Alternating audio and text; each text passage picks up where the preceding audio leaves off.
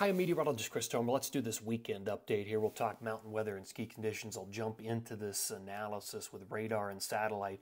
And what I want you to notice with this is this will be dominated, the pattern over the next probably three to five days, by this flow, this rich flow into the Pacific Northwest. It will push probably one, two, maybe three different waves of rich moisture into the Pacific Northwest. And then what we'll see is one low break loose and then move down into the interior parts of the West, including Wyoming, Idaho, Utah, and Colorado on Tuesday and Wednesday into those areas. Powerful jet stream. Look at that thing.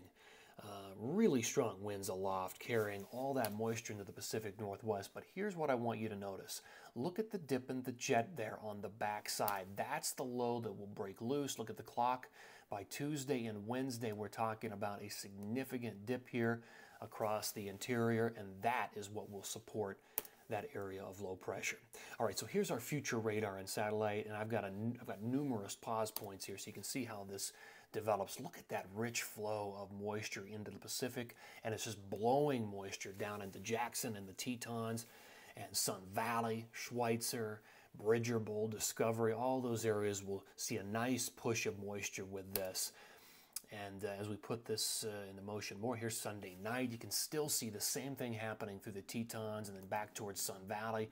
Even on Monday morning, that flow just continues to hammer those areas. By the time we get to Monday afternoon, it starts to relent as the axis shifts and that low coming in from the Pacific Northwest begins to take shape. This is on Tuesday morning. Look at Tuesday afternoon. Here's your low sliding in, and it's bringing all that snow into the interior and then eventually sliding through Utah, Wyoming, and Colorado. This is Wednesday morning. It's going to be a powder day there across the interior, and by Wednesday night, the storm is sliding away. All right, how much snow are we talking about? Well, by uh, Sunday morning, you can see most of the accumulation is up in the Pacific Northwest and then into the interior, Schweitzer North into Banff.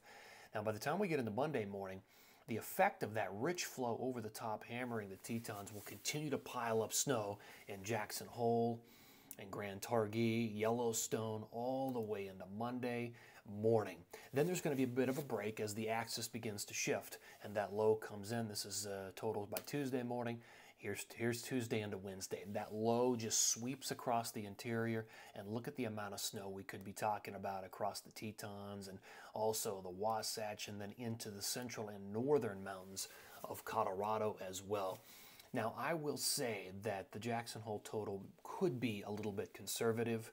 Uh, we could be closer to 20 inches by the time we get into Wednesday morning and Wednesday afternoon if this rich flow continues. All right, enjoy it. Have a great weekend. Always appreciate you tuning in here, and I'll talk with you later.